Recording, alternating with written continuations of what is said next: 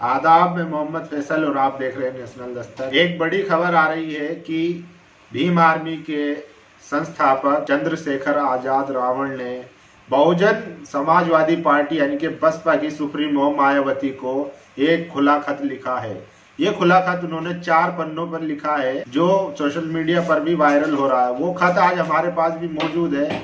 मैं आपको पढ़ के सुनाऊँगा कि चंद कि चंद्रशेखर आज़ाद ने खुले खत में, बसपा सुप्रीमो मायावती से क्या अपील की है? और तो मैं आपको उसको पढ़ के सुना देता हूँ। चंद्रशेखर आज़ाद रावण ने लिखा है, माननीय बहन मायावती जी, जय भीम, जय काशी राम मैं विशेष परिस्थिति में ये पत्र आपको लिख रहा हूँ। इस समय भारत एक महत्वपूर्ण राजनीतिक मोड़ पर खड़ा है। देश में सांप्रदायिक, जातिवादी शक्तियों का बोलबाला बढ़ रहा है। 2014 और फिर 2019 में लगातार भारतीय जनता पार्टी ने लोकसभा चुनाव में बहुमत से सरकार बनाई है। 2014 से 2019 के बीच बीजेपी की ताकत बड़ी है। दक्षिण भारत को छोड़कर लगभग बाकी सभी देश में उसका दबदबा मज़बूत हुआ है।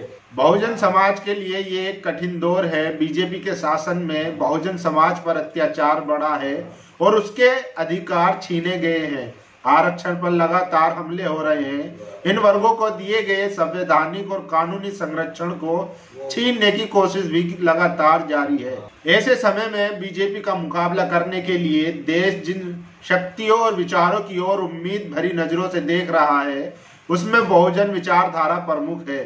यह विचारधारा ही देश में सांप्रदायिक और जातिवादी शक्तियों को सही जवाब देकर वास्तविक लोकतंत्र की स्थापना कर सकती है। इस विचारधारा के पीछे हमारे कई महापुरुषों और विदुषी महिला नेत्रियों का मार्ग मार्गदर्शन रहा है, जिसमें बुद्ध कबीर, नानक, रविदास, चोखा मेला, ज्योति फूले सावित्री बाई फूले, नारायण गुरु, साहू जी महाराज, पेरियार बाबा साहेब, डॉक्टर भीमराव अंबेडकर प्रमुख है।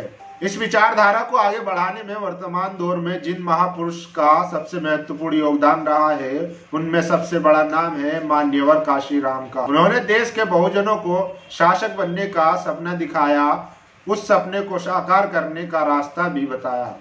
उनके समय में बीएसपी न सिर्फ़ ताकतवर बनी, बल्कि बहुजन आंदोलन भी मज़बूत हुआ। सदस्य के रूप में इस आंदोलन में आपका भी महत्वपूर्ण योगदान था। लेकिन राजनीतिक परिस्थितियों के कारण आज वे धारा सूखती नज़र आ रही है। पूरे देश पर बहुजनों का राज कायम होगा, ऐसा सपना अब कमज़ोर पड़ रहा है। ऐसा नहीं है कि देश के बहुजन शासक बनना नहीं चाहते। या कि देश में शोषण और उत्पीड़न खत्म हो गया है। लेकिन राजनीतिक परिस्थितियाँ कुछ ऐसी बन गई है कि काशीराम साहेब ने हज़ारों जातियों को छोड़कर बहुजन समाज बनाने का जो सपना देखा था, उसकी आज कमज़ोर पड़ गई है।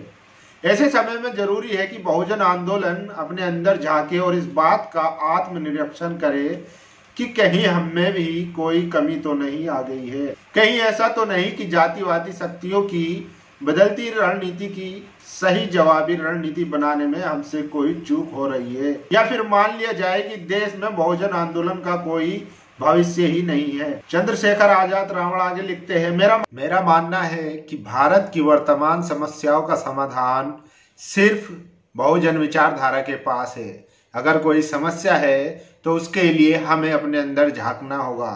मेरा निवेदन है कि इस बारे में विचार करने के लिए हमें सभी मतभेद बुलाकर एक साथ बैठना चाहिए और विचार विमर्श करना चाहिए, क्योंकि विचार विमर्श करने से ही रास्ता खुलता है।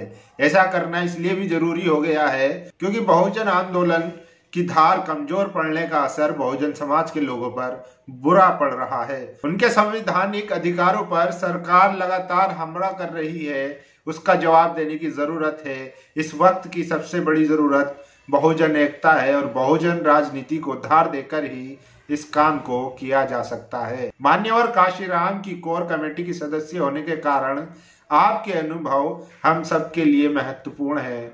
उम्मीद है कि इस चर्चा में शामिल होने के लिए आप समय निकाल पाएँगी।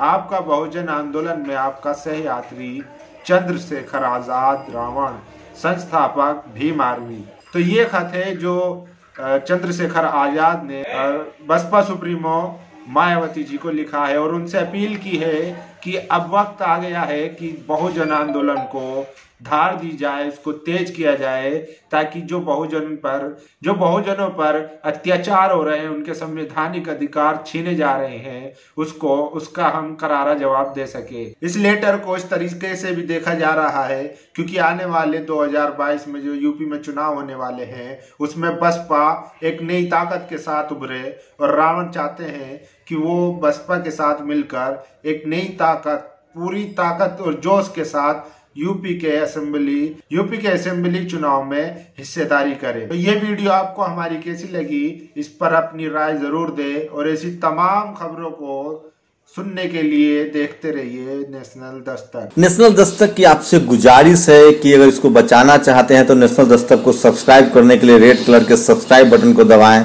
फिर बेल आइकन की घंटी दबाएँ। नेशनल दस्तक को बचाने के लिए बहुत ज़रूरी है कि हर खबर को शेयर करें, लाइक करें, कमेंट ज़रूर करें।